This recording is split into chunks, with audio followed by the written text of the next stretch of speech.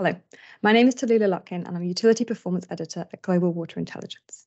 Back in March, I travelled to New York to the UN Water Conference. And for me and my colleagues at GWI, the most exciting thing to come out of the Water Conference was this little booklet. It was published by the Global Commission on the Economics of Water, and it's their call to action.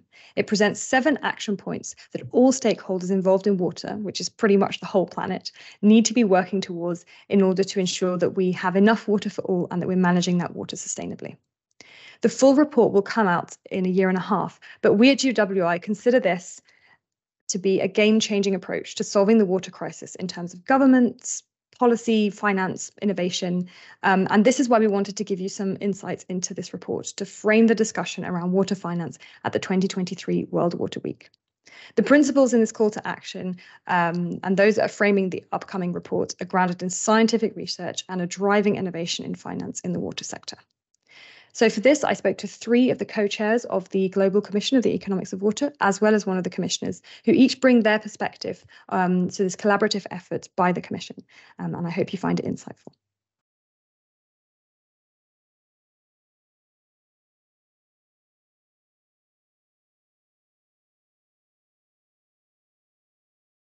This is one of the, let's say, fundamental scientific entry points for the economics of water work, which is that we have so much evidence today that uh, we are, as as humanity, uh, posing so large pressures on the Earth system as a whole that we are changing the functioning of the of the global hydrological cycle.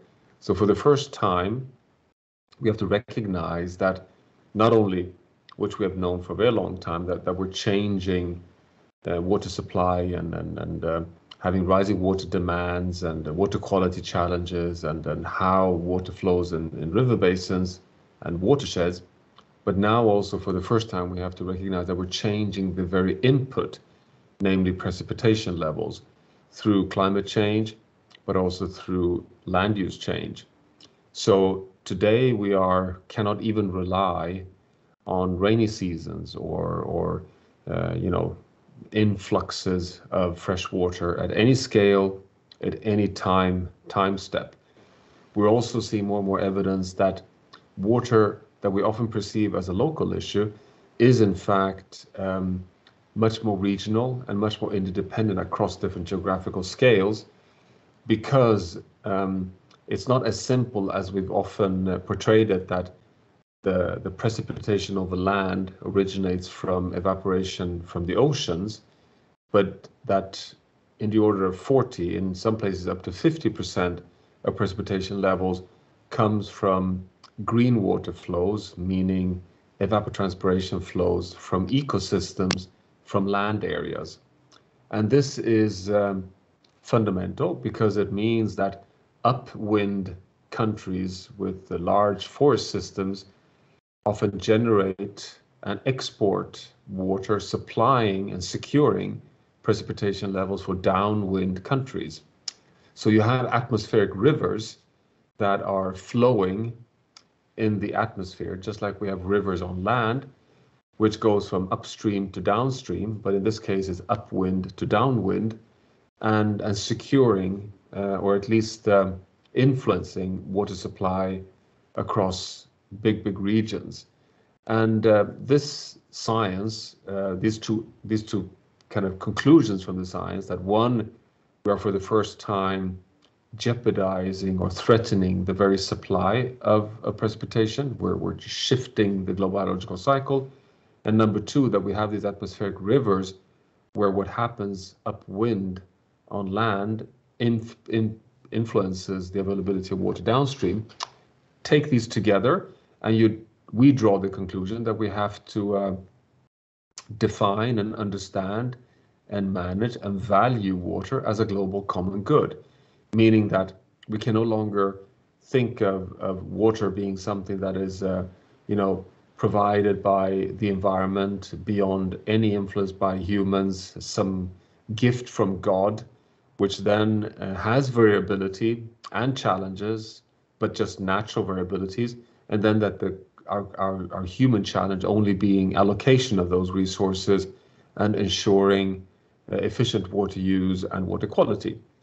we're arguing that that is not enough. The, the, the new economics of water must also be stewards of the very source, ensuring the stability of the whole planet, ensuring the stability of the hydrological cycle, and recognizing these atmospheric rivers. And the implications of this is, is very dramatic because you have, just to give you a few examples, that um, a country like Russia, for example, is, is a massive uh, importer of precipitation. So, so depending on, on green water flows from forest systems from neighboring countries to the west. So countries like Ukraine and Kazakhstan and the Baltic states and the, and the Nordic states. Uh, so so you have a, a, downwind country, Russia, depending on on management of ecosystems upwind. And then you have countries like Brazil that is hosting a major, major uh, precipitation provider and supplying that down downwind um, to countries in, in, the southern parts of, of, South America. So a big exporter of fresh water, and and this is um, uh, not only a, you know a major issue in terms of geopolitics, but it's also an issue of, of how you value freshwater as a as a capital asset uh, in terms of the stability of economies, because we know that uh, if if you uh, push water beyond thresholds in terms of extremes. I mean, both flooding and droughts, you impact on, on food, on energy, on basic livelihoods, which then can translate into impacts on, on economy, but also in social instabilities. So that is basically the the um, let's say the, the, the scientific journey from from the basic science on global hydrology, atmospheric rivers, and Earth system pressures all the way to uh, concluding water as a global commons and how that then impacts on uh, on valuation of, of fresh water. And I also uh, had this term that I think that uh, uh, that you have used this this term of planetary boundaries, and that you have said that we are kind of outside of the safe zone uh, when it comes to fresh water um, in terms of those planetary boundaries. And sort of, you know, how is that linked to these atmospheric rivers, and what does that actually mean in practice that we're kind of outside of the safe zone, and why why is that dangerous? the reason why we are at this juncture where we're now at risk of, of changing the inflow of fresh water. So we are, um, you know, through through climate change, powering up the whole hydrological cycle by adding even more vapor to the atmosphere because the warmer the temperature on Earth, the more moisture can be held in the atmosphere and more evaporation occurs from from the ocean but also when we transgress the planetary boundaries on biodiversity, on land system change in particular, we change the green water flows, the green water being, you know, the part of the hydrological cycle where rainfall infiltrates in, in the ground and a significant portion, actually 70% of the fresh water flows back into the atmosphere as as transpiration was taken up by roots and evaporation from from from soil and land surfaces. Now, um, this occurs because we're transgressing planetary boundaries. So the planetary boundaries are defined to provide us with a safe operating space that keeps the Earth system in a in a stable state in terms of all the life support systems. So basically, it's about setting scientifically defined boundaries that can keep the planet as close as possible to, to the Holocene state that we've had, you know, for 12,000 years of civilizational development before we started this exponential rise of pressures on the planet through unsustainable, uh, you know, exploitation, both of fresh water, but also of all the other boundaries. So the boundaries are set to keep the hydrological cycle within a safe space. And we've identified nine large systems and processes that together regulates the state of the planet.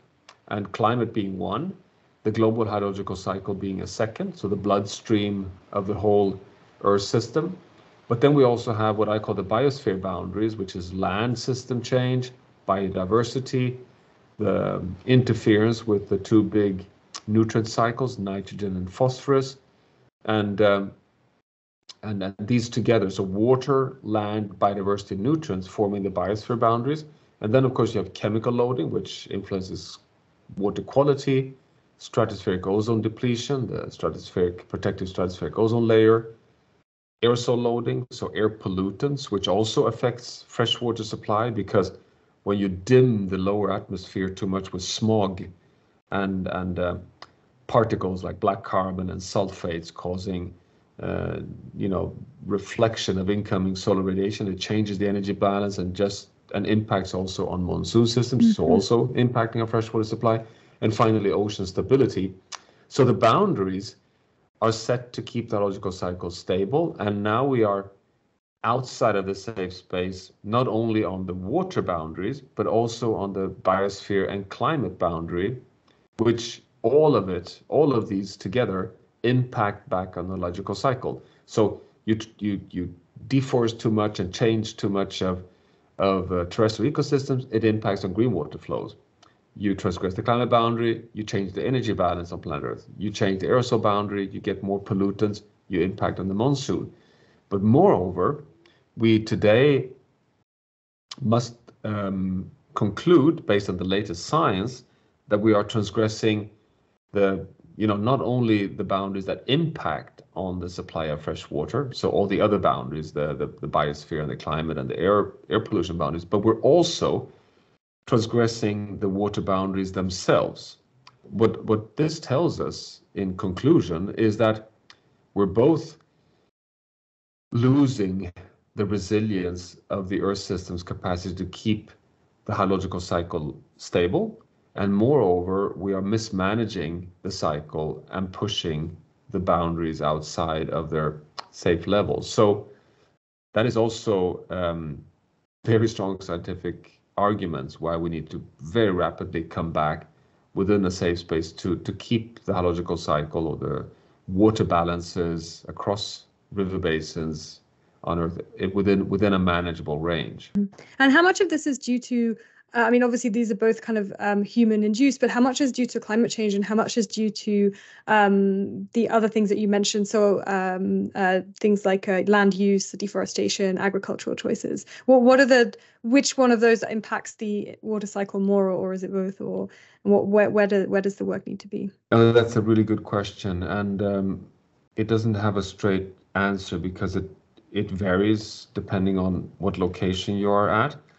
I mean, if you if you take um, let's say uh, an aggregate view on the planet as a whole, I would argue that climate change is the is the dominant driver of change of uh, of causing extremes in terms or, or extreme variability in terms of freshwater supply. So droughts, floods, heat waves, which also evaporates water and, and thereby induces more water scarcity. This is, let's say, if you look at it unified across the entire planet, I think climate change is the dominant force.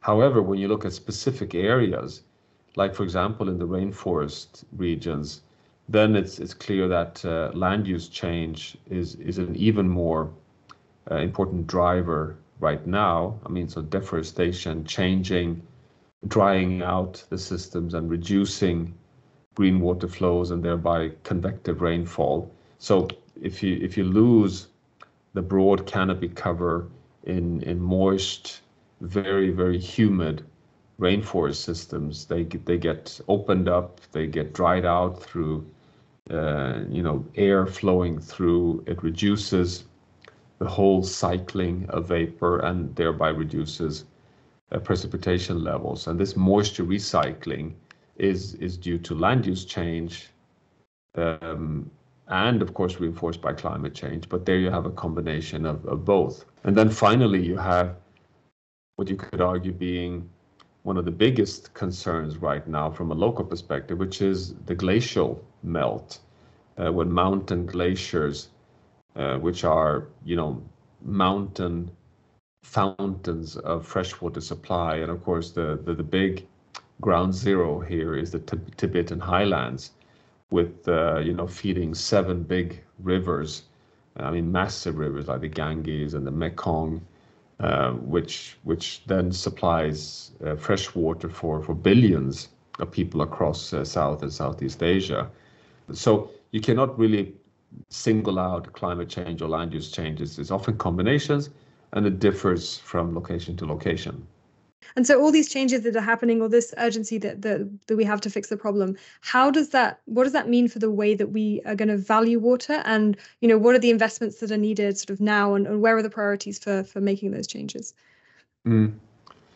Yeah, so that's the big uh, question how how to economically value water and and the starting point is is very uh, dire because we are mismanaging not only are we mismanaging water both in terms of quality and quantity, we're not even able to supply fresh water for, you know, the 3 billion people across the world that are lacking access to um, to adequate, healthy fresh water levels just for domestic water use. And we have an even larger challenge when it comes to securing fresh water for, for food in the future.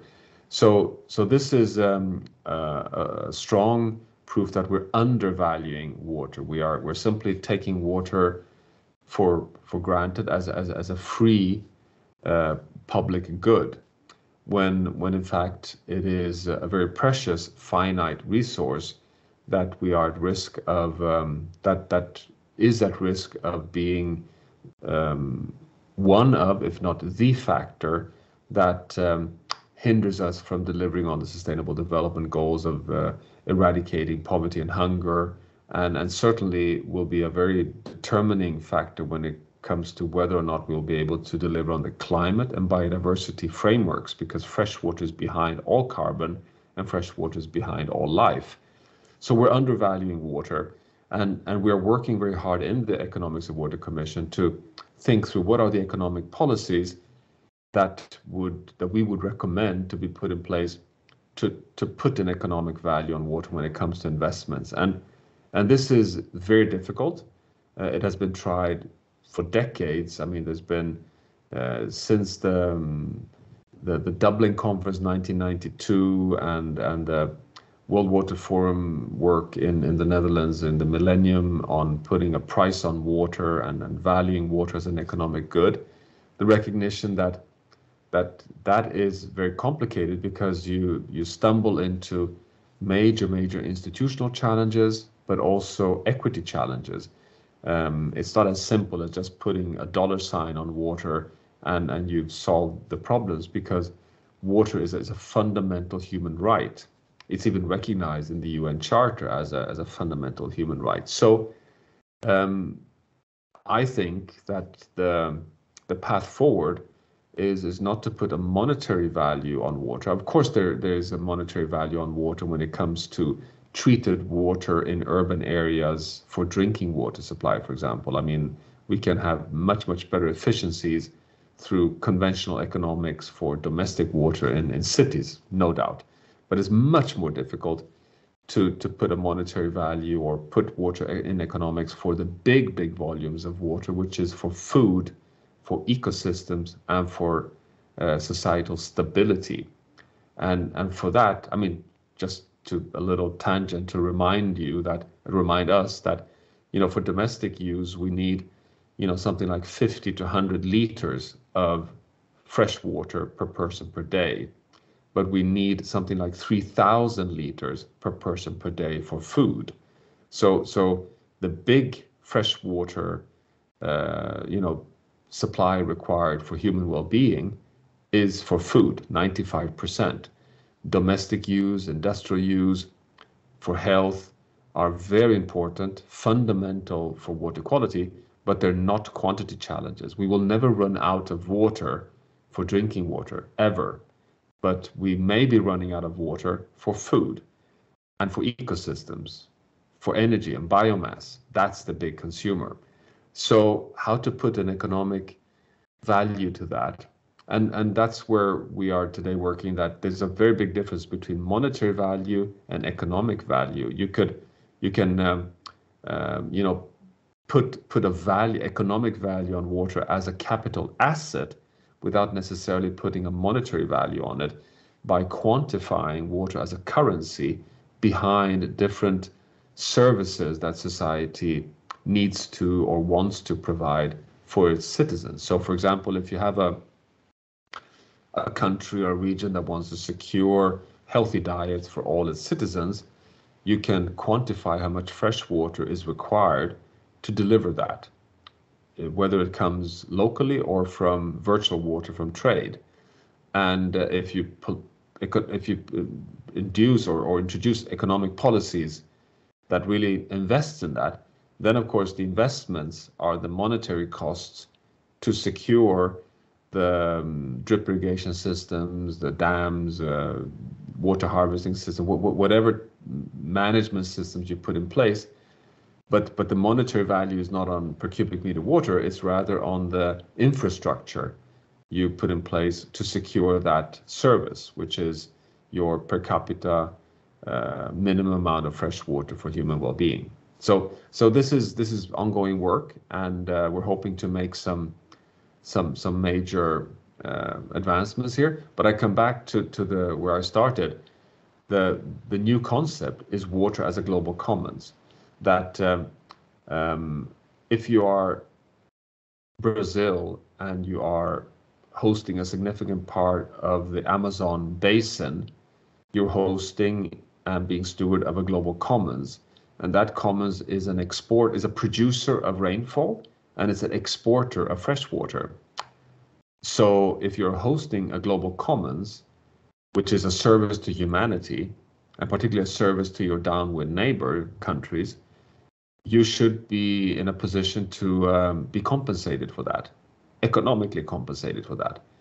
And uh, I think that is also uh, an additional economic policy dimension of, uh, of the economics of water.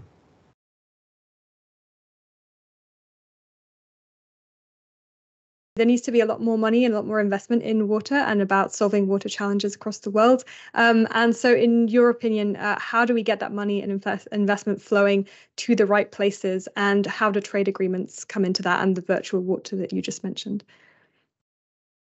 Um, to get money flowing for water, I think we need to lay out the logic for increased investments in water infrastructure and better water management. Um, simply put, Access to water stands as a prerequisite to achieve most, if not all, of the SDGs.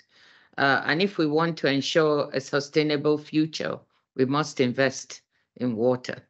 Uh, so we need to lay out that framework and, and, and uh, give the groundings and the context for that. The initial findings of the Global Commission uh, on the Economics of Water and I, I, I, the data that underlies our March 2023 report, Turning the Tide, estimates that we must multiply existing investments in water by a factor of three to ensure universal access to safely managed water and sanitation and enable its more sustainable use in major sectors. Um, I'd like to, to just note that chronic underinvestment in water has emerged as a worldwide problem, including in many high-income countries where the water infrastructure is aging, increasingly dysfunctional. And in low and middle income countries where the investment is, the infrastructure is non-existent in many cases uh, or, or very rudimentary. We're estimating 200 to about 400 billion dollars per year of additional investments in low and low middle income countries will be needed to achieve universal access to water and sanitation by, by 2030. And so you sort of uh, mentioned this framework uh, that there's a need to sort of reshape, uh, I think, global governance. And that's something that you mentioned in the report. Um, mm-hmm. And so, mm-hmm. from your perspective, um, you know, h- how does that reshaping need to happen, and, and what are the tools, and what would that new framework uh, look like? So, reshaping global governance, we believe really needs urgent attention. And uh, as our March 2023 findings uh, noted, the existing global governance architecture for water is not really fit for purpose. It's fragmented, it's siloed, it's incomplete, and uh, lacks solid underpinnings with data underpinnings are, are not are not there, or are, there's a lot of short shortcomings. There are also shortcomings that result in inconsistent incentives to efficient water use. um, the unnecessary uncertainties that make it harder to attract investment capital, and duplication of efforts to address the various dimensions of our shared water crisis, as well as gaps in the global response. And uh, WTO and international trade policies can play a role in this effort to, to help reshape global governance of water because um, I mentioned earlier the importance of virtual water trade in agriculture and other products. But one important thing to know is that one in five calories consumed across the world comes from uh, traded goods.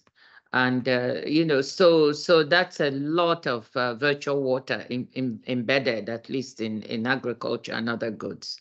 And so trade could promote sustainable water use by highlighting unsustainable and wasteful water subsidies, incorporating water efficiency standards in trade, and ensuring that trade policies do not worsen water scarcity in water-stressed regions. We, we can also highlight some of the um, uh, trade distorting and environmentally unsustainable subsidies in agriculture, which we believe will need to be repurposed.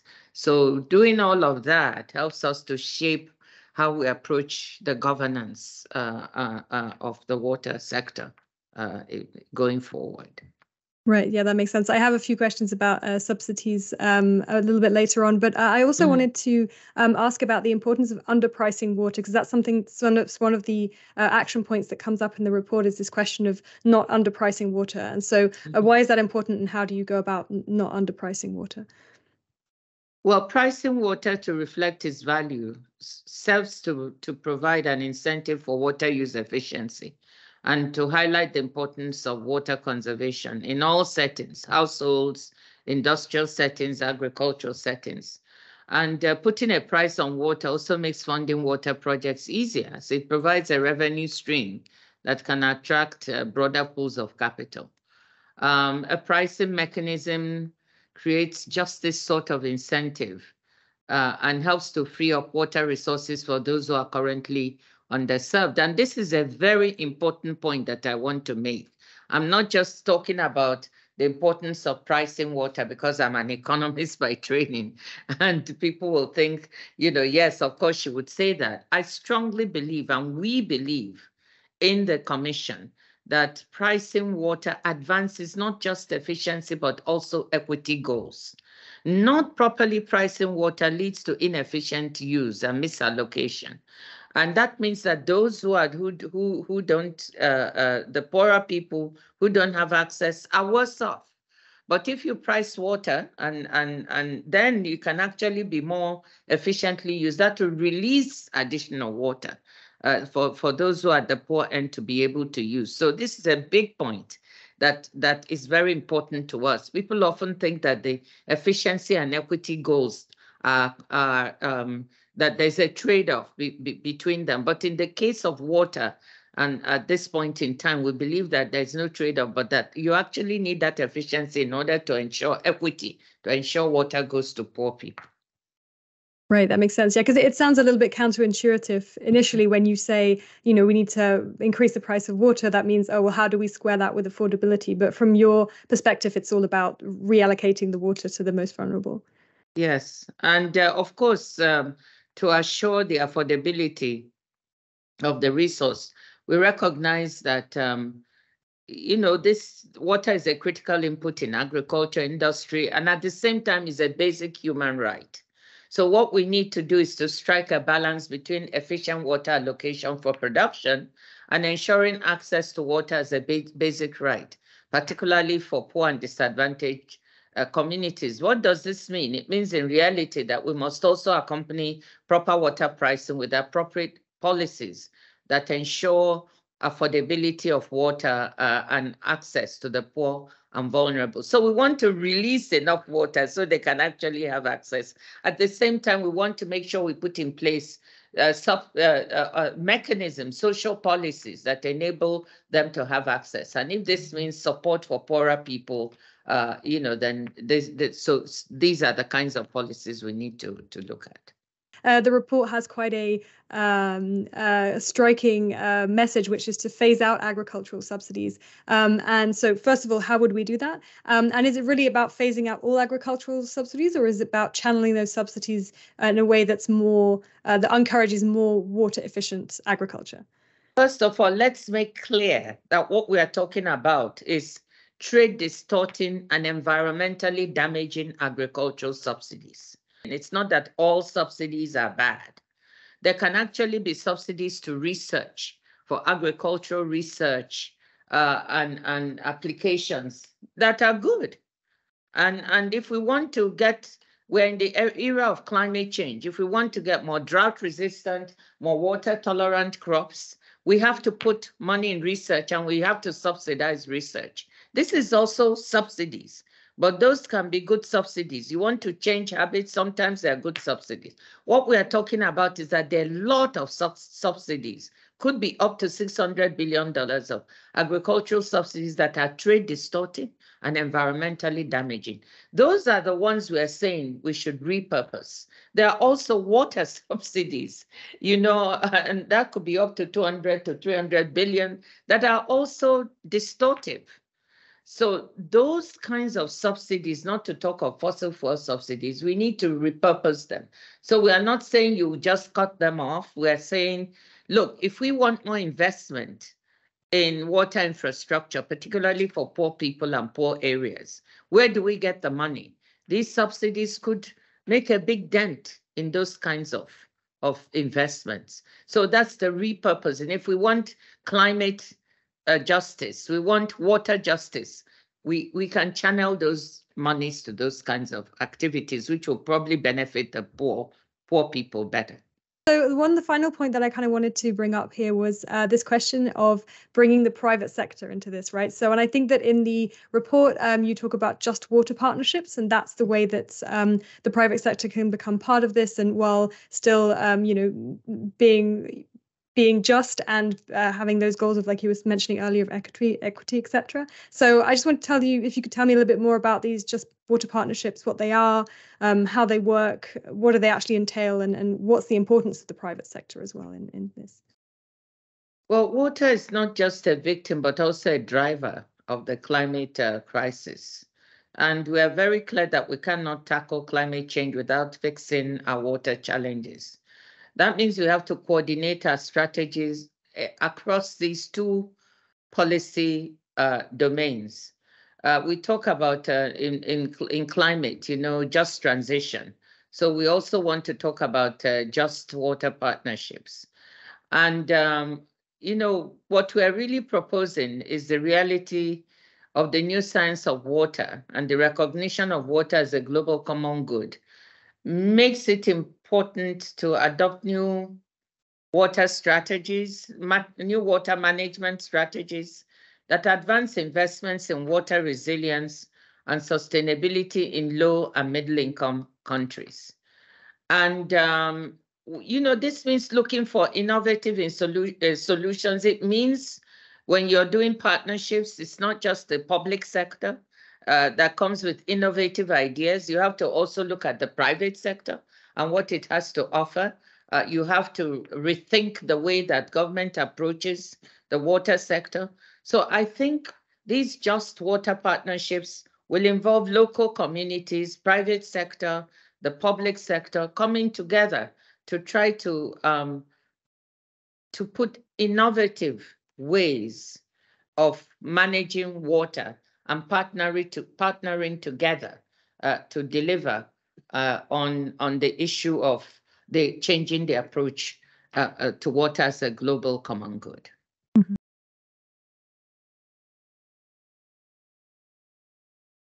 When it comes to water, what are the main outcomes that the world needs to be focusing on, and how do we measure their success um, and in achieving that mission? Sure. So, first of all, I believe that it's not a coincidence that we have this massive water problem. I think the framing that we have uh, provided from the economics uh, profession, but especially from the practical side, has continued to see it either just as a sector, so water is a sector, or also with different types of national policies, but also the public policy side of things has ended up just tinkering on the edges. So I think one of the biggest changes we need is to confront this as a global problem that requires systemic action. It requires collective action in the sense that we really need a common good framing, which means an mm-hmm. objective to tackle together, as opposed to how public goods are often talked about, where it's just a correction for something that one actor is not doing. A, a, a systemic problem, also in the sense that a lot of the research that the uh, commission is actually showing is that you know the it's it's absolutely a collective problem in the sense that deforestation in one part of the world causes flooding in another part of the world causes droughts in another part. So the hydrological cycle itself is global and requires that collective action. And so you know having systemic collective action requires new types of economics and that's really what we're trying to uh, argue here and then that means that the design of the finance the design of the policy the design of the partnerships needs to change from what we currently have as a status mm-hmm. quo. Right. And so, yeah, I, I, heard in another video you talking about this mission that it was like when we landed people on the moon, we had this like clear mission. So, eh, what would yeah. be the mission statement here? Sort of, what is what is that sort of clear mission that we all need to be working towards? Well, first of all, we should remember what a mission approach is. And you know, going to the moon was not just aerospace; it required uh, changes, investment, innovation in areas as different as health, nutrition, materials, electronics, and software and definitely the water mission, which is to protect the global hydrological cycle and to keep it in safe, you know, constraints. Uh, mm-hmm. That then requires national, local, and regional kind of submissions, right? You can't kind of dictate to everyone, oh, this is the mission, and somehow assume that that's going to inspire uh, action. So, really looking at the intersectoral uh, uh nature of the problem and asking what does it mean for food systems? What does it mean for health systems? What does it mean for how we construct cities? What does it mean for um, how we look at sustainable land use and ecosystems transitions? What does it mean for biodiversity all these are areas that people are currently working on but the parts you know the uh, the sum of the parts is not greater right, right. than you know the whole. So a mission oriented approach the idea is that if you actually have a clear mission statement then what does that mean for how all the different actors work together? You know so again on the way to the moon we ended up with camera phones foil blankets uh, baby formula again software. These were all solutions to the big mission but that had a kind of a hundred or thousands probably of, of homework problems that had to be solved along the way so really what those homework problems are that then foster purpose orientation this is really what we also want the report over the next kind of year to, mm. to highlight so the idea is that the work we're doing with the commissioners but also speaking to uh, experts globally will then help us really also formulate what these uh, many, many different homework problems are that have to be solved along the way to the final uh, mission itself, which is again keeping the global hydrological cycle in safe boundaries, which it currently is not. But what would you say are sort of the levels of governance that uh, you know the most important for, achieve, for achieving these outcomes? Well, one, uh, because government is so important, is actually to create alignment between different levels of government. And that means local government, regional government, national government, but global governments. You can't have a nationalistic uh, solution to this in the same way that we couldn't have a nationalistic solution to a global health pandemic, right? We ended up with eight different vaccines with COVID 19, but we didn't vaccinate the world. So, what does it mean to have a mission like global vaccination? What does it mean for intellectual property rights? What does it mean for the design of public private partnerships? It's exactly this that we should be asking with this global water crisis. What does it mean for rights, not just intellectual property rights, but all the different rights and ownership structures? What does it mean for how different parts of the world actually work together instead of having water nationalism? Know, again, vaccine nationalism, water nationalism. Uh, but also, it's interesting that as a problem, and it's a problem that brings so many different sectors together, but also all the SDGs. I can't think of one sustainable development goal of the 17 that doesn't have a water component. Of course, there's the obvious ones around WASH. Uh, there's the obvious one about you know life below uh, our oceans. But actually, if you think of gender parity, that's a hugely water relevant uh, area, right? Because many young women unfortunately get raped as they go fetch water when they don't have access to it. So, really, this is a question also in terms of governance, how it can be an all of government approach. It's not just for the department in a, in a country that deals with water, it's just as much for the department that deals with health, with equity. Um, if it requires new economic modeling, we need our treasuries, our finance ministries to be paying attention. So, it requires an all of government approach. And also, you talk about these submissions, which I guess um, for me is sort of the opportunities that we have to um, to really move the needle and make things yep. um, go forward. And so, what are the what would you say are sort of the main opportunities that you see which are going to really move that needle in terms of the water mission? Sure. I mean, we definitely need to scale up current innovations and we shouldn't pretend that we don't have the innovations they're simply not being scaled up and they're not being again approached with that all of government uh, and, and, and public private kind of serious collaboration so the first we need to innovate in and scale solutions for storage uh, systems of water. So we need to address water water storage holistically.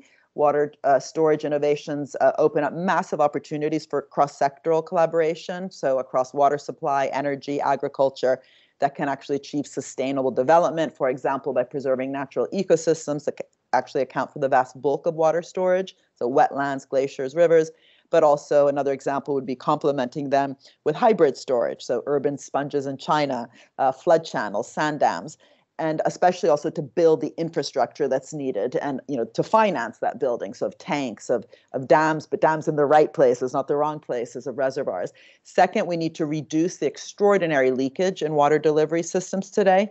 So there's um, many developed countries where something like 40% of water is lost in the course of delivery due to aging infrastructure. Um, we need to scale leakage technology innovation. So, for example, thermal uh, imaging drones and satellite technology are increasingly adopted in some countries, but not scaled. Uh, third, we need to innovate in agriculture, which, which is actually the biggest user of water today and a hugely inefficient user. Um, so the technologies actually do exist, things like drip irrigation, precision agriculture, but we can make them affordable. They're currently not afford, uh, affordable, so it's not a surprise they're not being used. We need to spread them and help improve farmers' yields at the same time. Uh, precision agriculture is actually an information and technology driven system leading to transformation and advancements in agriculture, but that means that we actually then need that uh, digital capacity, that IT capacity, that knowledge creation capacity linked with it. So it's not just agro, it's also digital. Fourth, um, and really important, is recycling industrial wastewater. We're currently not recycling the bulk of wastewater, and the runoff is often polluted. Uh, and that itself has large economic, social, health costs. Uh, indeed, something like 80% of global wastewater is not adequately treated while many regions suffer uh, water scarcity. So you have this kind of irony, right, which shows us it's not actually a total scarcity problem, it's how we're managing, we're mismanaging water. And wastewater reuse can minimize pressure on our freshwater resources. Um, and if we scaled and normalized uh, recycled wastewater as the primary resource for agriculture, industry, and even potable use, we could, you know, really focus on on that problem as its own moonshot. Coming back to the terms we were using before, just quickly, um, we also have to, this is fifth type of mission area, to move early to ensure that the transition to a low carbon economy, in particular uh, low emission energies, reduces rather than increases the pressure on water. This is hugely um, an issue right now if we think of the global electrification drive, where we need lithium, you know, to uh, put into electric cars, and yet lithium extraction uh, in the countries that um, have it as a natural resource is incredibly uh, uh, water intensive. So this reminds us again that there's a systemic issue. What looks like a solution in one part of the economy is creating a problem in another. And lastly, desalination. And this is an area that's a bit more well known than the others, but it's, it, it can really be a powerful solution for many regions experiencing severe droughts and uh, water shortages. And something I want to talk to you about as well, which I think is part of your work, is, is this uh, the role of the public sector and the role of the private sector. So I think that you talk about the public sector sort of um, shaping shaping the market in a way that sort of um, that, that creates the right incentives. So what are the incentives that the public sector can uh, can can shape to to to yeah to create incentives for efficient water use? Yeah, I mean, I believe that just the concept of incentives also is part of the problem. What we need is both direct and indirect policies. So indirect policies are often those incentives. They might be tax incentives, and we can definitely also use tax incentives to uh, to affect change. So you know those companies that are actually investing in all those different types of changes I mentioned might be able to get tax reductions, for example. But that means really using tax to kind of tilt the playing field, reward those actions which we know are better uh, for people and planet. So there's something also very important about how people are, you know, at the interface of basically every uh, uh, uh, form of water, and what does it mean to again bring a human rights approach that holds legal obligations to the private sector and the public sector and how they work together around any of those mission areas that I talked about before. I do think that this ultra shareholder value model of corporate governance has not helped us. If we look at the problems being experienced in the UK with Thames Water, for example, this is about corporate governance. And you know, I'm really hoping that the commission will be bold in our recommendations about corporate governance. We need much more stakeholder value, less of an obsession with shareholder value, because we're talking about a good that is absolutely at the center of people's human rights in terms of having clean, affordable, accessible uh, water. And it's going to be very hard to do that if the profit motive is what is kind of directing, uh, you know, solely the profit motive, uh, what's directing companies. And that's again why it's important to have these other legal obligations that have to do with stakeholder value and human rights. And I think water is going to be the perfect example of where we can actually sandbox, if, if, if we want to use that word, these different public private partnerships. I think it'll be important for us in the report to make comparisons with what we've learned in other sectors. If I think about the health sector, which has received huge amounts of public uh, investment just in the United States, $42 billion a year is what the US government spends on health innovation, and somehow it's not embodied in the intellectual property rights, it's not embodying in the prices of the drugs. So, you know, we end up allowing the, the private companies set the prices because we think that's the market model. But the market has uh, has benefited from that public investment. So the market itself is an outcome of how we govern business, of how we govern public, and how we govern their interrelationship. So we should stop talking about like the market. We should say what kind of market outcomes do we want, and how do you backtrack and actually organize those relationships between business and the public, and also civil society uh, uh, actors in order to actually achieve the goal right? That's again why the mission uh, oriented approach I think is very important. It gets rid of that ideology of public or private, but also gets rid of this confusion I think of the market. The market is not business, and how we govern business determines on the kind of market outcomes we get. And I think we've also misgoverned many businesses.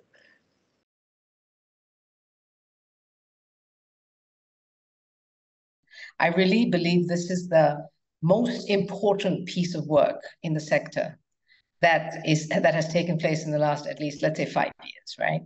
Um, and why is that? Because the whole objective of the commission on water was to reset the water narrative the water action plan and the, even the water stakeholder group.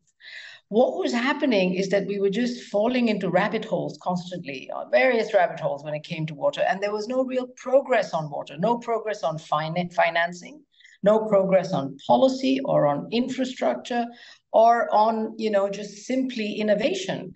There are companies like Xylem, which are doing a great job, but not enough. You need much more. So this, um, the idea behind the work of the commission was to recast water as a global issue, not as a tiny little mayor, city level, or town level issue, which is one of the rabbit holes that I mentioned, you know. And so to cast it as a global issue and to relook uh, at water as a completely integrated uh, sector um, across an entire hydrological cycle and see what solutions we can come up with. I think number one, we have to look at, as I said, water as an integrated hydrological cycle uh, between green and blue water. And this is one of the fundamental uh, pillars of this report. Number two, we have to look at new governance models. This is policy, but importantly, institutions that support the policy. Okay. Number three, again, as I said, we have to look at new innovation models. What does what what? Yes, there's innovation, but how is it being applied? How is it being integrated to to actually create uh, new business models? So innovation is not just on the tech bit, but it's also on the business model side, right? And part of, of that business model is what people keep talking about all the time, which is valuing water or pricing water or coming up with a better sense of what water is worth in today's world, right? Um, the next piece to look at is really new infrastructure models. Water has always been a very capital intensive, very, very, centralized infrastructure model. I'm not sure that that's the model of the future, given the way we are growing as a as a as a as a as a population everywhere. You know, um, and then finally, once well, not finally, and then you have to look at the what I call the social inclusion model, if you will, because so far it's the only social piece to water was it's a fundamental human right. Yeah, fine. Of course it is. What are we doing about it? How are we putting the social inclusion part as an integral part of the water model in any country or in any city or in any, you know, we're just not doing enough of that. We have to. And finally, if we do all those things successfully, we have to come up, and they will come up because it's just going to happen. We have to come up with new financing models and financing, not necessarily instruments, because people keep talking about instruments. It's really models, you know, uh, the give and take in a finance deal um, and how that applies uh, to the water sector. Yeah, that's really interesting. I think that's actually one of my next questions is sort of, you know, if we change this framework, where does the money need to come from and where does it need to go? Because I think that's the ultimate question. Mm-hmm. The money will come from wherever it sits. There's plenty of money out there. There's no, there's no lack or dearth of liquidity. This is the thing to keep in mind. There is a lack of financing and business models and a lack of true partnership between the between the traditional and non-traditional actors in the water sector. And I'm hesitating saying public-private because that's what we always say. I'm saying traditional and non-traditional. Lack of understanding to see how to finance this thing. See, because if you talk to a finance person like myself, and if I, if I wasn't a water person, I'd say, there's no way I'm going to fund it, right? I'll never get my money back. And if I get my money back, it's going to be at, a, at, a, at an unacceptable rate of return. Maybe, right? Maybe that, that may be true, but it's probably not true. In nine out of 10 cases, it's not true. We just have to work on it. We have to think together uh, on, on that. So the money's there. The partnerships have to be developed properly. The type of financing has to be developed properly. And in my thinking, right, as a final point to your question, I believe blended finance 2.0 will consist of three pieces compared to blended finance 1.0, which was just policy and finance together. 2.0 has to have policy, of course, has to have finance, but it also has to have social inclusion. So if you think of a structure, it has to have a policy piece, obviously a finance piece, but then a social instrument of some sort in order to ensure this social equity um, issue that has dogged this sector forever and continues to unreasonably, in my view, as a water person. I, I think it's just something we shouldn't get stuck on, and we are. Mm-hmm, right. And is that something that, so the report talks about just water partnerships. Is that what these partnerships are supposed to, to, to That's to exactly right. Water justice is not some loose, weird, uh, you know, concept. It's a concept that um, that invites action, that invites structuring, that invites models, and so on and so forth. So it's very, yes, the report pays a lot of attention to water justice, I mean, you know, as, as a concept. Yeah, there is no trade off because trade offs mean zero sum games, and zero sum games mean there's a winner and there's a loser. So what we're saying in the report is that you have to have both. You have to have the efficiency piece, whatever that means, and that typically means the technology, the infrastructure model, the policy framework around it. That's that all creates the efficiency. But you also need the equity piece because I'll tell you, Tallulah, going forward in, in tomorrow's world, without social equity or, or social inclusion up there with financial return and economic return and policy return, we're not going to make it. That's why we're saying there's no trade-off. And, and Ngozi is absolutely right. I am optimistic. I'm optimistic because this report is putting down a pathway that has not been looked at before. So in and, and it's a, and it's a very sort of comprehensive pathway. It's an it's an integrated pathway that brings those various strands of required action together, as I said, finance, innovation, governance, social, all those. So that's why the optimism. I really believe it's, it's going to be a substantial step forward. Now, the caution comes from simply that we need to bring together the required partners and stakeholders in moving forward. That is always that's always uh, more difficult than than than than what we think it will be, right? Um, and there's all sorts of partners that have to come together, including legacy actors, as I call them, who may be disadvantaged, at least initially, from a new look at water. And I think we need to bring everybody around a given table in order to move forward. So I'm optimistic, more than cautiously optimistic, but less than wildly optimistic. Right. Yeah, that's a good answer. Um, yeah, I think that what you were just saying at the end there kind of leads on to my final question is that so first of all, who are those you know who are the people the stakeholders that you really want to hear this message um, and what if you had you know 30 seconds to say the most important thing to them what what would it be?